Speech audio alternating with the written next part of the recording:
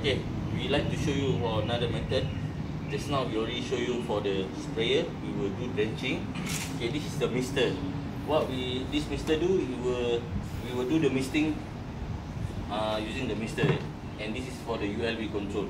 The mister or chemical still the same, 10 ml of temperate and 5 ml of Provecta. Is this the same? Because this also uh, the have 4 liter also of water. Okay, this is how Mr. Shafi will show you. Okay. But misting, we will do second part of the treatment.